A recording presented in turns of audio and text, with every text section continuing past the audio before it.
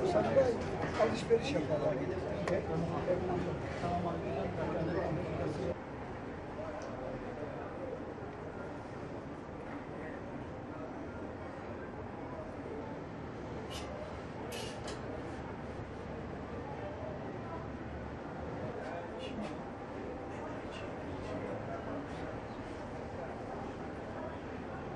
Görmüş olduğunuz Helvacı Hasan Çavuş, dedem İstiklal Gazisidir.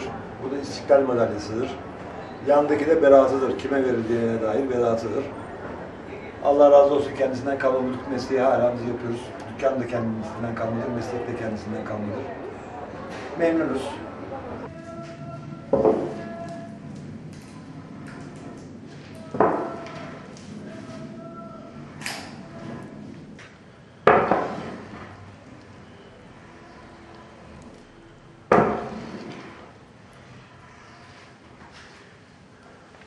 Konuşuyor, hem de makamına geliyor, hem ağzını soğuyor.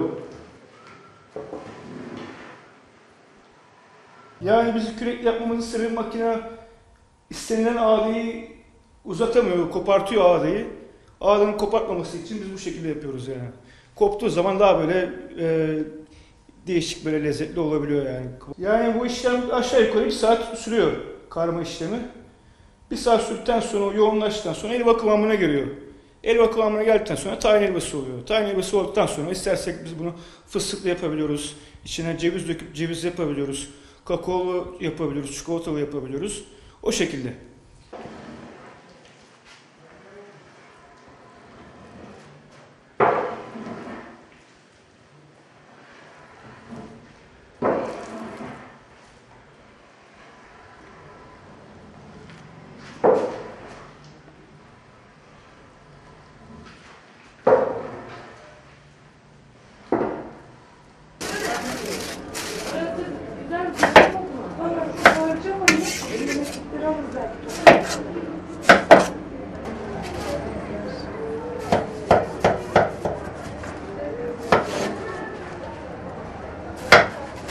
Helvacılık mesleğine uğraşıyorum.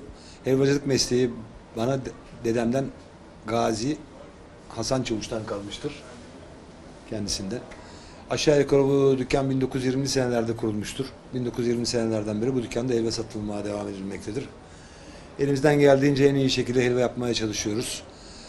En güzel helva yapmaya çalışıyoruz. En güzel malzemeleri kullanmaya çalışıyoruz. Helvalarımızda %65 oranında tayin bulunmakta. %35 oranında da şeker bulunmaktadır. Herhangi bir katkı maddesi kullanmıyoruz.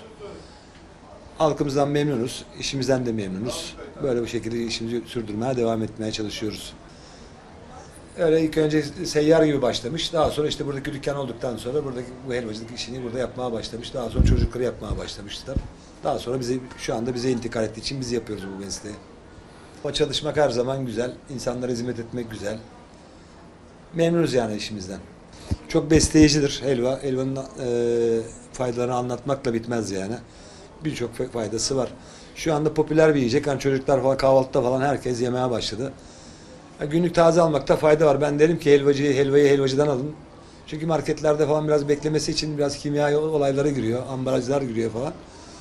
Bence helvacılardan daha günlük ve taze almak gerekiyor helvayı. Öyle düşünüyorum.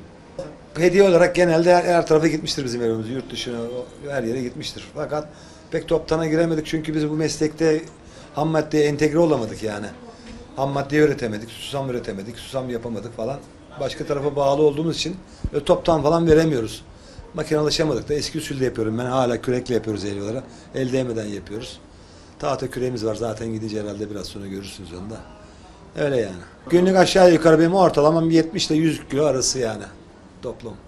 Hani ortalama benim 70 lira. Yazın mesela az, az oluyor işlerimiz. Kışın biraz daha fazla oluyor. Daha çok tüketim fazla oluyor. Tahin satılıyor, pekmez satılıyor. Helvada kızıştırıcı bir madde. Güzel bir yiyecek. Yani biraz da kışın yenmesi de tavsiye ediliyor yani. Tahandır, pekmezdir, helvadır. Bunlar çok faydalı yiyecekler. İnsanlık için her zaman önemli. Ya işte biz memnun olduklarını, başka yerden helva aldıklarını, işte sizden hep bu mesleğe devam etmemizi istiyorlar genelde teşekkür edenler var yani. Çok memnun olanlar var. Biz de en güzelini yapmaya çalışıyoruz. Ufak tefek bizim de hatalarımız oluyorsa affola yani.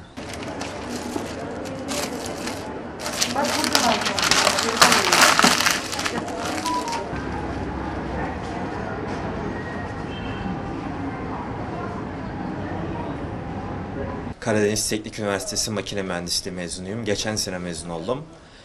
Pandemiden beri helvacılıkla uğraşıyorum. Dedelerimden miras olan meslekle. Şimdilik buradayım yani. Sonuçta 100 yıllık bir dükkan yani. Kaliteden ödün vermeden devam ettirmeye çalışıyoruz hala. Bu benim için çok kıymetli tabii tarihi bir yer olduğu için.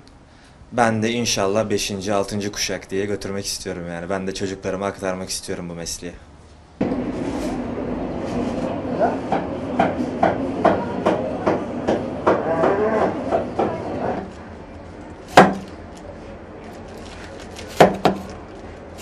Şey Makedon Genç Milli Takımı'nın doktoru şu anda e, Üsküp Tıp Fakültesi Dekanı Nikola Nikolovski arkadaşım. Buradan giderken 2 kilo elva aldıydı birer kiloluk iki tane. Çok mükemmel buldu. Ve ister bundan sonra Muharrem dedi gelirken dedi devamlı bana o elvadan getir dedi. Devamlı götürdüm. Yanlışlıkla bir gün başka yerden alıp götürdüm. O elva bu değil dedi. Hasan Çavuş'un elvası bu değil dedi çalışan hemşirelere dağıttı onu çalışanlar kendisi yemedi. Bundan sonra dedi sakın bir daha başka yerden alma dedi. Ben de tamam Nikola dedim. Benim arkadaşım kendisi zaten. Aile dostum. Öyle bir anım var. Yani bu, bu gayet hakkını vererek bu mesleği sürdüren e, ailelerden biri Hasan Çavuş.